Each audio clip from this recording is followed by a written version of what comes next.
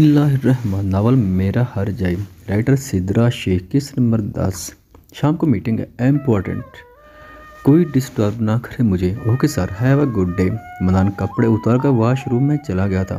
मैं भी कोशिश करूँगी आपको अपने दिल से निकाल बाहर करूँ मनान डैम इट शवर आन की वो गिरते हुए पानी में एक ही चेहरे को बार बार देख रहा था और जब मैंने की बात उसके दिमाग में घूमना शुरू हुई तो उसने वाल पर ज़ोर से हाथ मारा एन उस वक्त पीछे से किसी ने उसके वेस्ट पर हाथ रखकर अपनी मौजूदगी का एहसास दिलाया था। लीजा सीने पर टेस करती उन उंगलियों को मजबूती से पकड़े। वो इस वजूद को अपने सामने ला चुका था। शावर के नीचे वो लड़की भीग रही थी, जिसकी आँख में शरारत थी। मनान को ऐसे देखकर, लुकिंग हॉट, मिस्टर। वह हाथों को मनान के बालों से फेरते हुए गर्दन तक ले आई थी। तुमसे कम लग रहा हूँ, लिजा के हाथ अपने नक से हटा, हटाए। लिजा के हाथ अपने नेक से हटाए। उसने मोड़ देते हुए, मोड़ दिए थे और करीब का लिया था। प्लान तो पाकिस्तान में मिलने का था। मनान ने उसके कंधे पर होंठ रखते हुए सरगोशी की थी। अब और दूरी बर्दाश्त नहीं हो रही थी। जान किसमी उसके होंठों की तरफ़ देखे, वो डिप्रेस्ड होकर बोली तो अगले ही लम्हे मनान ने उसकी ये ख्वाहिश भी पूरी कर ली थी। मनान साहब ने मना किया मैम उन्होंने कुछ भी नहीं कहा। तुम चाहते हो वो भूखे रहें, पर मलेशिया मैम अंदर जाना आप पुलिस सही नहीं। मनान के असिस्टेंट ने हडन वार्निंग दी। वो जानता था मनान के बंद कमरे में क्या हो रहा था उसने उस लड़की को फला अथॉरिटी के साथ उस रूम में जाते देखा था। फुल अथॉरिटी के साथ उस रूम में जाते देखा था, जो मनान का प्राइवेट रूम था, जिसका लॉक पासवर्ड उस लड़की को ऑलरेडी मालूम था। मनीषा तुम्हारा ऐसा तो वहाँ जाना ठीक नहीं। एक्सेक्ट दूसरी तरफ़ रूम को देखते हुए सीनियर गार्ड ने नरमी से समझाने की कोशिश की थी। मनीषा को, वो जो उम्र में बड़े थे और मनीषा को बेटी की तरह ट्रीट करते थे ऑफ़िस में, सबको ही मालूम थे। मनीषा को, मनीषा की फीलिंग्स बनान को लेकर, देखो मनीषा, मैं ऐसे बाद नहीं आने वाले। डिनर दे आओ आपका। वो अपनी नाराज़गी भुलाकर मनान के लिए खाना ले जा रही थी। वो अपने अनाज भूल कर उस रूम की जाने बढ़ी थी। मनीषा ने आहिस्ता से ना की था। मनान की गुस्से से भरी आवाज़ आई थी। मैंने बकवास की थी।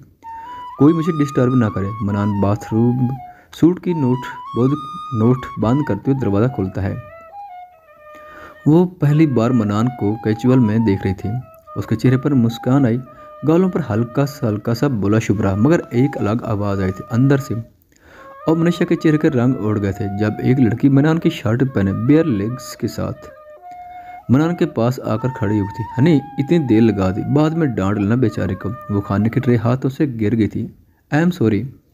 वो जल्दी से नीचे झुकी थी और टूटे कांच को उठाकर वापस उठाने लगी थी। तुम जाओ, मैं किसी सर्वेंट से साफ़ करवा लूँगा। It's okay, sir. आप जाइए, मैं कर लूँगी। उसे दर्द नहीं हुआ था। उसके हाथ पर कांच छुप गया था, खून बह रहा था। जब मना ने उसे कंधे से पकड़कर उठाया था, जाओ अपने रूम में पैकिंग करो और अब नज़र माता नहीं यहाँ। मनीषा की भीगी हुई आँखों को देखते हुए कहा था, जी, वो बाजू छुड़ाकर पीछे हो गई थी। एक नज़र उस लड़की को देखकर मनीषा मोड़ गई थी। मनान वो उसे जाते देख रहा था और उसने खून के कतरों को जो उसकी जख्मी हाथ से गिर थे। क्या हुआ? कौन थी वो? तुम डिस्ट्रैक्ट लग रहे हो। क्या वन नाइट स्टैंड मेरे मुकाबले पर अपनी बात मुकम्मल मत करना। मन्ना ने उसके वेस्ट पर हाथ रखकर अपनी तरफ़ खींचा था। वो मेरा स्टैंड नहीं है। नौकर है मेरी कंपनी में। और तुम मेरे दिल की मालिक। आई लव यू नान क्लबों ने उसके होंठ जैसे चूहे थे। मनीषा अपने रूम का दरवाज़ा बंद कर चुकी थी। बंद दरवाजे के साथ टेक लगाए। वो ज़मीन पर बैठ चुकी थी, घुटनों में सर छुपाए उसकी रोती आवाज़ उसी कमरे में गूंज उठी थी। सो दर्द हैं, सो राहत हैं, सब मिला दिल नशीन, एक तू ही नहीं। फिजा, ओ माई गाड, तुम का है जुनेद भाई, मोस्ट वेलकम। घर वाले, घर की लाडली बेटी को देख रहा इतना खुश हुए थे। नजीब भाई कहाँ है? फिजा ने सबको मिलने के बाद पूछा था, नजीब भी यहीं ये बताओ, लीजा कहाँ है? नाहिद बेगम ने फिर से फिजा के माथे पर बोसा देकर पूछा था। फिजा की बेटी को सब उससे भी ज़्यादा प्यार करते थे, खासकर नजीब, क्योंकि कुछ साल पहले जो फिजा के साथ हुआ, उसका कसूर हुआ, नजीब खुद को समझने लगा था और अपनी दौलत शुरा से उससे जुबन पड़ा। उसने किया फिजा की ज़िंदगी को फिर से सेटल करने के लिए। भाभी कहाँ है नज़र नहीं आ रही। हमारा अभी अपनी दोस्त मोम मैं हमारा नहीं, निस्बा भाभी की बात कर रही हूँ। मुझे दादी ने जैसे ही बताया मुझे तो रहा नहीं गया। कहाँ हैं वो? नाहिद के हाथ से अपने हाथ छुड़ाया वो हाल में हँसते हुए घूमी थी और ऊपर उसी कमरे की तरफ़ भागी थी, जो कभी नजीब और निस्वा का था और मनान, हमारा मनान, वो कैसा है, बड़ा हो गया होगा। नजीब भाई पर गया है, कद काठ में और हैंडसम भी। वो कहती जा रही थी, कहती जा रही थी, दादी की आँखें भीग चुकी थी, पर बाकी सब अफराद गुस्से से देख रहे थे फिज़ा को। वो नहीं है और कभी वापस आएगी भी नहीं। तुम्हारा भाई पागल हो गया हुआ है, उसे वो चाहिए। जब वो थी तो निस्बत चाहिए थी और अब वो मॉडल। नाहिर तैश में कहने लगे थे, ये सोचे बिना कि जुनेद भी वहाँ मौजूद था और बाकी मुलाजिम भी, मोम कोई भी आ जाए, चली जाए। मगर नजीब भाई निस्बा के थे, हैं और रहेंगे। आप भी जानते हैं, क्या नहीं जानते। पिछले सालों में नजीब भाई की मोहब्बत निस्बा भाभी के लिए। हाँ हाँ मोहब्बत। मैं नहीं मानती नजीब को, मोहब्बत होगी। अगर होती तो किसी और को ब्याह कर ना लेता बेटा। नहीद बजी ठीक कह रही हमारा नजीब इस उम्र में भी दिल लगी से बाज नहीं आया। और निस्बा वो चची कहते कहते चुप होती जब नजीब अपने फैमिली के साथ घर में दाखिल हुआ था। जो सुन चुका था चची की बातें, नजीब ने मुलाजमों को इशारा किया था, जो माहिर की व्हील चेयर नीचे वाले फ्लोर के गेस्ट रूम में ले गए थे। शीजा जो अपने कमरे में, उसकी बेटी खामोशी से चली गई थी। बिना फिजा और जुनेद को मिले, यही रवैया माहिर का भी था। भाई, वो भागते हुए नजीब के गले लगी थी, जबकि नजीब की नज़रें अभी भी चची और उसकी माँ पर थी। आप ऐसे वेलकम करेंगे घर के दामाद का, जुनेद। फिजा के माथे पर बोसा दिए। उन्होंने जुनेद को अपने गले से लगाया था। और हमारी प्रिंसेस कहाँ है? वो बस शाम की फ़्लाइट से आ जाएगी। लंदन रुक गई। उसका दोस्त का एक्सीडेंट हो गया था। वो बातें करते करते लिविंग रूम की तरफ़ चाल दिए थे। लंदन, मुझे बता रही थी, मैं भी वहीं से आया हूँ। मेरे साथ आ जाती। आप क्या करने गए थे वहाँ? नजीब कुछ कहते कहते रोक गया था। बस अपनी ज़िंदगी को वापस लेने गए थे। ओह हमारा उठकर जाना चाहती थी। फिज़ा के आने के बाद उसकी इज़्ज़त वैसे भी दो कोड़ी के रह जाती थी, मगर वो नजीब के गुस्से का सबब भी नहीं बनना चाहती थी। तो वो खामोशी के साथ सब बातें सुनती रही। भाभी वहाँ हैं और मनान, वो कैसा है? वो कैसा होगा? अपनी माँ की तरह नाकाम, जैसे वो शादी नभा ना सकी। मोम, माम ठीक ही कह रही है फिज़ा। नजीब ने नाहिद की साइड ली थी और चाय का सिप भरा था। भाई, मनान आपका बेटा है। Show some some respect. मैंने कौन सा उसकी बेइज्जती कर दी? उसने इन सालों में कौन सी दुनिया फतह कर ली होगी? मैं जानता हूँ। जैसे निस्बा एक बंद डब्बे में इतने साल छुप कर बैठ, वैसे वो भी होगा। किसी चीप सी जगह पर। मुलाजिम। नजीब की बात ने और शायद वो दी थी, वह सबको। नजीब की बात ने और शायद दी थी सबको। हाँ हमारे माहिर को देख लो, नजीब की छुप छुई है। बाप बेटे साथ जाते तो लोग रोक रोक कर देखते हैं। मुझे तो शक है, मनान में एक क्वालिटी भी होगी, नजीब वाली। मुझे भी हमारे तो मुलाजिम पे इतने तालीम याफ्त हैं क्या मनान को तालीम दिलवा सकोगी निस्बा वो खुद कौन सा इतना पढ़ी लिखी थी? नजीब की दोनों चचियाँ, बाकी सब बड़ों के साथ कह के लगाकर हँसी थी। जो मज़ाक हँसी ठट्ठा नजीब ने शुरू किया था। जो कुछ सेकंड जो कुछ सेकंड पहले एंजॉय कर रहा था उसे, क्यों एकदम से अपनी फैमिली की तजलील का एहसास होना शुरू हुआ था? निस्बा को तो सारी ज़िंदगी नजीब के पाँव धोकर पीने चाहिए थी। जिस शोहा ने उस सड़क से उठाकर मालकिन बना दिया क्यों नहीं भाभी? वो एहसान फरामोश ही थी, शुरू से। उसको एक ही बात चाहिए थी, नजीब, और वो भी सारे का सारा। एक्सक्यूज़ मी नजीब उठकर चला गया था। नजीब भाई फिजा भी नजीब के पीछे पीछे उसके रूम में दाखिल होती, आपने कहा, आप ले आएँगे? क्या वो रोड पर पड़े हैं, जिन्हें दिल चाह फेंक दिया और उठा लिया फिजा, नजीब ने कोट उतार कर रख लिया चेयर पर वो हैरान हो गया था फिजा की तंज पर आपने नीचे की, नीचे माँ की बात सुनी जिसमें भाभी को? वो दौलत, शोहरत, पैसा बड़ा मकान नहीं, आप चाहिए था। आपने सब दिया, मगर खुद को बांट दिया। आप भी आप भी, आप दूसरी औरतों के साथ और ख्वाहिश निस्बा भाभी की। वाटर बिश फिज़ा, ये सब क्या बोल रही हो? मैंने कहा था निस्बा, और मेरे मामले में कोई ना बोले। वो ऊँची आवाज़ में बोला था, जिस पर फिज़ा की आँखें भर आई थी। नजीब भाई, औरत सब शेयर कर सकती है, पर अपना मज़ा से खुदा ने। और आप तो मोहब्बत भी थे ना? और वो जो यहाँ सब छोड़ गई थी दूसरी बीवी के आने पर, क्या वो इतनी गाय गुजरी होगी कि आपके अफेयर्स और दूसरी औरतों के साथ अटैचमेंट के बावजूद आपको अपना लगी? गेट लॉस्ट नजीब का हाथ उठ गया था, मगर उसने मारा ना था। फीज़ा को वो खुद पलट गया था और उसे रूम से बाहर जाने का कह दिया था। भाई, मैं नहीं चाहते, निस्बा भाभी वापस आए। आप बहुत खुद गर्ज हैं आपने अपनी ज़िंदगी के इतने साल बर्बाद कर दिए। अब अगर वो आपके साथ वापस आई तो वो औरत ज़ात के साथ बेवफाई करेंगे। डैम इट शीश की खिड़की पे हाथ मारा था जो कुछ सेकंड में टूट गई थी। बेजान दिल को तेरे इश्क ने ज़िंदा किया, फिर तेरे इश्क ने ही इस दिल को तबाह किया। आज उनकी वापसी थी। मनान के प्राइवेट चैट में सब वापस ही थे, आए अब वैसे ही था। मगर इस बार मनीषा उसके सामने वाली सीट पर नहीं बैठी, वो पीछे लास्ट वाली सीट पर बैठी थी। मनान कोई फ़ाइल मांग भी रहा था। तो मनीषा वो उसके असिस्टेंट के हाथों आगे भेजती थी। मिस मनीषा मैंने आपसे ये फ़ाइल मंगवाई। सॉरी सर आपको फ़ाइल चाहिए। कौन ला रहा है, कौन दे ऐसे फ़र्क नहीं पड़ता चाहिए। एक्सक्यूज़ मी वो सिस्टर के हाथों से फ़ाइल खींचकर मनान के सामने टेबल पर पटक कर वापस पीछे सीट पर जाकर बैठ गई थी। मनान ने एक नज़र उसे गुस्से से देखा और फिर अपने स्टाफ को मिस इट्स ओके सर बार बार ना बुलाएँ। उनके हाथ भी जख्मी है और दिल। वो कहते कहते रोक गया था। तुम्हें बड़ा एहसास हो रहा है उसका। मेरे सामने बैठे क्या कर रहे हो? पीछे दफ़ा जाओ, तीमारदारी उसकी। जी सर मनान का असिस्टेंट मनीषा के सामने वाले सीट पर जाकर बैठ गया था, जिस पर और शिदा से गुस्सा आया। उसे मगर वो गार्ड और जेट एमएलए के सामने तमाशा नहीं बनाना चाहता था कोई। सीरियसली शाम, सर, उसके सेक्रेटरी और असिस्टेंट के कह के उसे आगे तक सुनाई दे रहे थे। वो समझ नहीं पा था उसे इतना गुस्सा क्यों आ रहा था मैनेशा पर। मामा प्लीज़, तमाम सीनियर डॉक्टर की कॉन्फ्रेंस है, मैं भी उन स्पेशल डॉक्टर में हूँ, सो हुरब ने सूप का बाउल अपने गोद में रखते हुए कहा था, बेटा, मैं जब तुम दोनों डिसाइड कर चुके हो तो फिर मुझसे बार बार इजाज़त ना मांगो। मैं कौन हूँ? मना करने वाले। Mom please leave me alone आप क्यों खौफजदा हो जाती हो मेरे ये मनान भाई के पाकिस्तान जाने से? मैं तुम्हें हर बात का जवाब देना ज़रूरी नहीं समझती। नौ लीव इस वाक़ तलख लहजे पर हुरम ने गहरा सांस भरा था और सुकून निस्वा के होंठों की जानब की थी। माँ, मुँह खोलें प्लीज़ रुब की आँखों में पानी देकर निस्वा इनकार नहीं कर पाए थे और जैसे मुँह खोला, वो सूप पिलाना शुरू हुई थी। और जब बाउल ख़त्म होगा तो हुरब ने निस्वा के हाथों को चूम कर माथे से लगाया था, माँ, आप फ़िक्र ना करें, मैं नहीं जाऊँगी इनफेक्ट कभी नहीं जाऊँगी। वो ये कहकर बाहर चली गई थी। जब निस्वा ने चिरा दूसरी तरफ़ किया तो शीशे में खुद को देखा था, क्यों खौफदा हूँ मैं? क्यों मैं नहीं चाहती मेरे बच्चे उस मुल्क, इस शहर में ना जाएँ, जहाँ से मुझे बेअबरू करके निकाल दिया गया? या हुरब का वजूद कभी नजीब पे जहर नहीं हो पाएगा? क्या वो डिज़र्व करता है अपनी बेटी? वो कहते कहते चुप हुई थी। मुझे अभी तक इन्फॉर्मेशन नहीं मिली डैम इट कहाँ है वो? मनान नजीब अफंदी, निस्वा नजीब अफंदी। दोनों की इन्फॉर्मेशन चाहिए, लंदन में है दोनों। अब उससे ज़्यादा हंट किया दूँ? सर प्लीज़ उसका काला छोड़ दे, वो मुकम्मल मालूम लगा। मिस्टर शबीर समझा दें उसे। नजीब ने उसका गरेबान छोड़ दिया था। और क्या बना उसका, जिसने माहिर पर हाथ उठाया था? कहाँ है? सब इन्फॉर्मेशन अभी मीटिंग रूम रेडी करो। मुझे वो लोग चाहिए जो उसकी कंपनी और उसकी इन्फॉर्मेशन रखते हैं। वो डिसमिस कर चुका था। ऑफ़िस विंडो पर भी पीछे लगे बड़े से फ़ोटो फ्रेम का अक्स उसे नज़र आता वो तस्वीर जो एक क्लिक पर वाजह हो जाती थी। नजीब जब अपने कैबिन में कदम रखता था।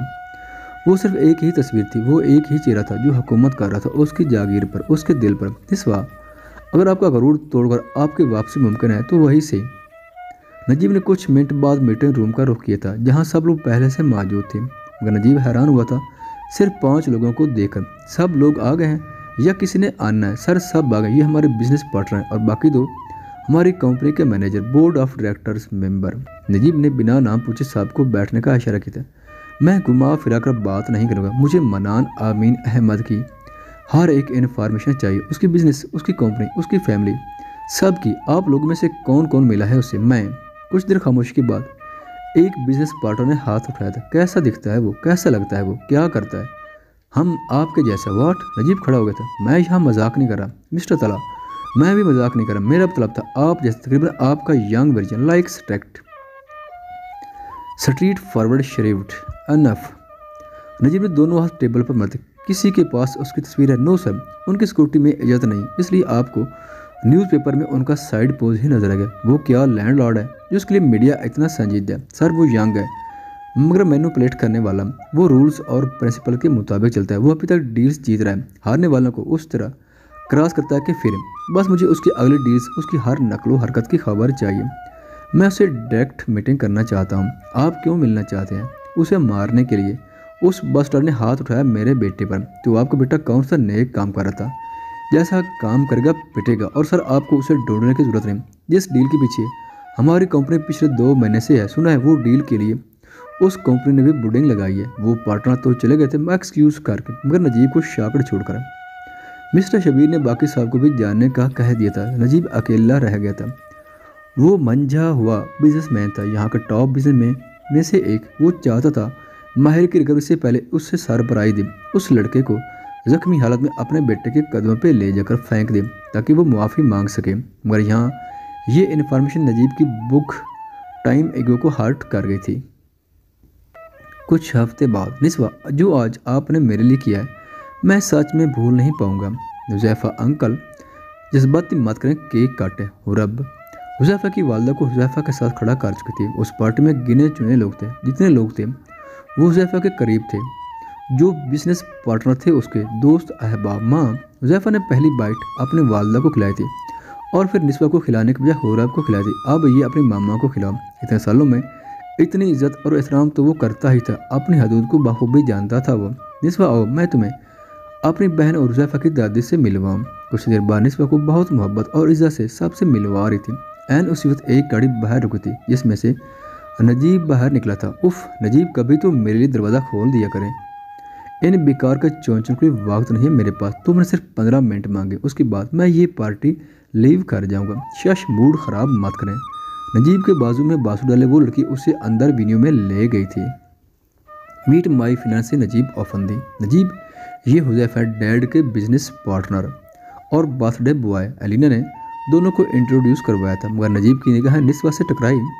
तो अलीना का हाथ छोड़ने पर मजबूर हो गया था। नफरत, उसे जिस लफ्ज़ से नफरत थी, जो लफ्ज़ वो कभी मज़ाक में भी बर्दाश्त नहीं करता था। उसके लबों से आज उसी की आँखों में अपने लिए बेशुमार मोहब्बत देकर वो शाकड़ हो और ये कौन है? एक्चुअली आज का इवेंट उन्होंने ऑर्गेनाइज़ किया था, खासकर खाना और स्पेशल केक क्यों मिस निस्वा? एक्सक्यूज़ मी वो जल्दी से चेयर टर्न कर चुकी थी। यह पार्टी हुजैफा के मैंशन टेरेस पर ऑर्गेनाइज की गई थी। इस बार चाहते थे खुले आसमान के नीचे वो एक ख़ास दिन को हुजैफा के लिए और ख़ास बना दे मगर वो खुद सरप्राइज़ हो गई थी। नजीब ऑफ़ रेली बच्चों की शादी की उम्र है। और उसकी, और उस शख्स की आवारगी नहीं नहीं जा रही। वो इतने रश और गेस्ट की चहल पहल में खामोश जगह ढूंढ रही थी, जब नजीब जल्दी जल्दी उसी तरफ़ आया था और निस्वा की चेयर पीछे से पकड़े एक साइड पर ले गया था, जहाँ कोई नहीं था। निस्वा, इस उम्र में जिसमों की प्यास बाकी है, उम्र देखी है आपने? वो गुस्से से चिल्लाई थी। अपने इमोशंस पर काबू नहीं पा रहा था उसका। उम्र, वो तो कहती है, मैं बेडरूम में बहुत यंग शर्ट अप वो पलट चुकी थी। दिल दर्द से फट रहा था उसका। आँख कहती कि छलकने को तैयार थी। तुम्हें गुस्सा क्यों आ रहा है? वो यंग है इसलिए। या वो बहुत कामयाब मॉडल है इसलिए। मुझसे मोहब्बत करती है, इज़्ज़त करती है और बेडरूम में भी मुझे बहुत खुश रखती है वो। वो जाए भाड़ में और जाए भाड़ में आप। मुझे गुस्सा नहीं और ना ही फ़र्क पड़ता है। क्यों फ़र्क नहीं पड़ता? तुम्हें फ़र्क पड़ना चाहिए। तुम मुझसे अलग होकर दो टके की मुलाजमत कर रही हो, लोगों के खाने बना रही हो और यू नो वाट मुझे जितनी नफरत आपसे हो रही है, नजीब शायद ही कभी किसी से हुई होगी। आप डिज़ायर नहीं करते थे मुझे। आप जैसा हुसन प्रस्त हवस प्रस्त शख्स को क्या पता होगा? आप सिर्फ़ कदर जानते हैं। उन जिस्मों की जो बिस्तर के शीर्ष में मिले आपको। क्योंकि आप, वो कहते कहते चुप हो गए थे। उसकी सच्ची कड़वी बातें दिलो दिमाग पे लगी थी नजीब के। निस्वा हाथ छुड़ा कर चले गई थी। वो सीढ़ियों से बचते हुए दूसरी तरफ़ तैयार थी। जब पीछे से एक ही धक्का लगने पर उसकी कुर्सी नीचे गिरना शुरू हो गई थी। उससे पहले वो चंद सीढ़ियों के फासले से वो गिरती, उसकी व्हील को। दो हाथों ने पकड़ लिया था। नीचे से मनान के दोनों हाथों ने कुर्सी को पकड़ लिया था और पीछे से नजीब ने। उन दोनों के चेहरे के रंग उड़ गए थे। वो दोनों ही भागते हुए आए थे। निस्वा को बचाने। आप ठीक है निस्वा? नजीब ने। निस्वा के चेहरे को अपने हाथ में लिए पूछा था और मनान चेहरा देखता रह गया था अपने बाप का। बाप! मनान ने खुद से सवाल किया था। लाइट्स डेम होना शुरू हुई तो एक रोमांटिक सॉन्ग ने माहौल टोटली चेंज कर दिया था। निस्वा, नजीब ने निस्वा की व्हील चेयर को केयरफुली नीचे रखा था, उसे सहारा देते हुए थैंक यू मैं मैनेज कर लूँगा। मनान को इग्नोर कर दिया था नजीब ने। सोच जो साकत था और निस्वा वो शुक्र करती, वहाँ मौजूद अंधेरे का। उसे ये खुश फहमी थी कि मनान ने नजीब का चेहरा नहीं पहचाना। मगर मनान पीछे हट गया था। वो हर मोमेंट को नोट कर रहा था, उस शख्स की, जो निस्बा को एक कारनार पर ले गया था। नजीब आफंदी, मनान ने गुस्से से अपना फ़ोन निकाला था। You idiot Najeeb Afandi London में तुमने बताया नहीं। सॉरी सर लास्ट मोमेंट पर पता चला। वो अपने मंगेतर के साथ पार्टी मंगेतर मना ने सरगोशी की मगर दूसरी जन्म सुन लिया था। जी सर वो famous model Elina. Manan phone काट कर चुका था और जब वापस उस कार्नर की तरफ़ देखा तो ना नजीब था और ना ही निस्वा। आखिर साबित क्या करना चाहती हैं आप निस्वा? गिर सकती थी, चोट लाग सकती थी, मुझसे कितना भागेगी? समझ नहीं आता, मैं हूँ मुकद्दर आपका, नसीब आपका। वो कंधे से पकड़ कर झंझोड़ रहा था निस्वा को। आप मुकद्दर थे, नसीब थे, मगर अब आप नहीं हैं।